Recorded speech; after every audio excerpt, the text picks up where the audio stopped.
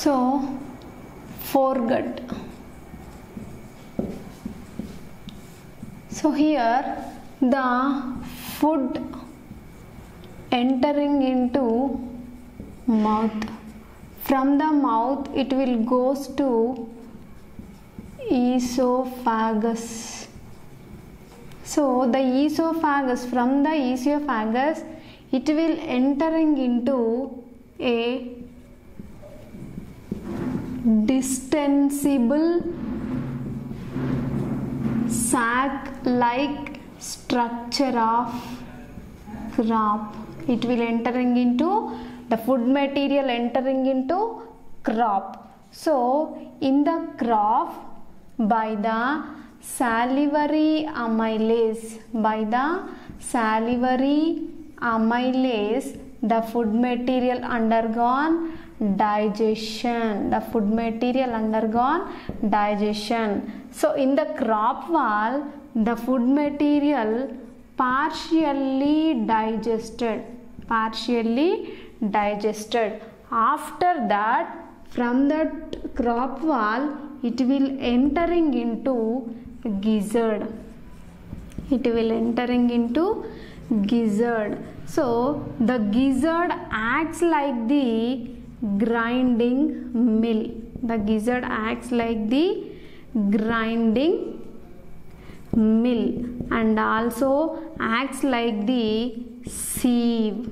Okay? So from that crop wall the partially digested food material entering into gizzard.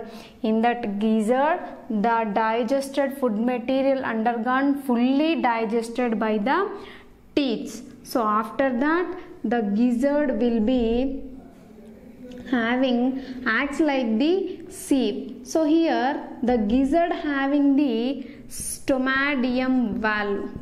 The gizzard having the stomatium valve. So the stomatium valve will be prevent backflow of food material. Backflow of food material. So from this gizzard here that hepatic is here the food material undergone full completely digested.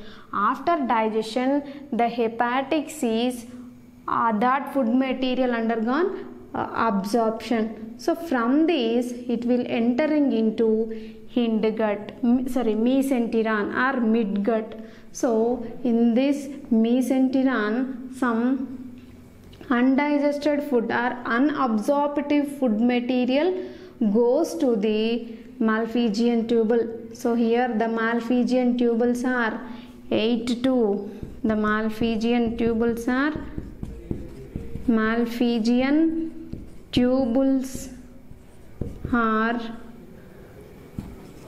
100 to 150 in number and having 6 to 8 bundles. 6 to 8 bundles. That bundle having the 20 to 25 tubules. 20 to 25 tubules. So the, from this Malpighian tubule that will undergone ileum colon. So from that colon it will goes to the rectum. So the rectum having the papillae like structure the rectum having the papillae like structure. So these are used for the reabsorption of water content reabsorption of water content in the rectum.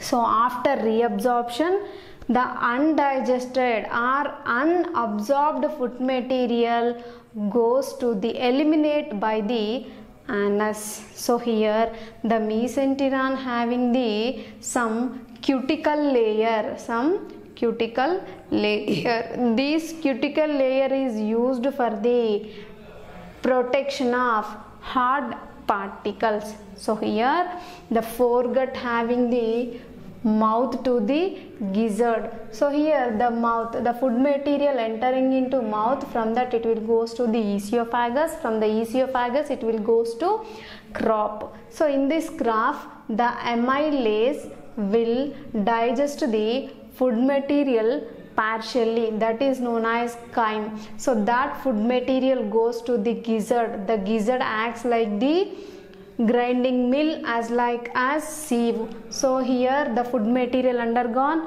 absorption.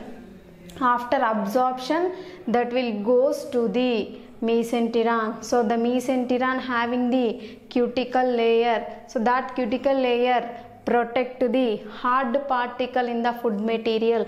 The totally digested food material goes to the Malpighian tubules. The Malpighian tubules are 100 to 150 in number 100 to 150 in number. So that are having the 6 to 8 bundles. Each bundle having the 20 to 25 tubules. So from these it will goes to it is a freely moved in the visceral organs. So from these the undigested food material or unabsorbed food material goes to the ileum. From the ileum it will goes to the colon. From the colon it will goes to the rectum. The rectum has rectal papillae.